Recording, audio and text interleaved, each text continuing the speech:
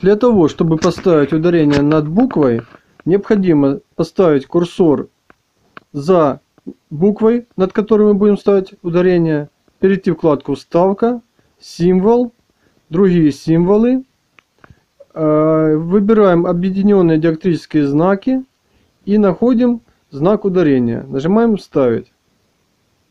Над нашей буквой появилось ударение.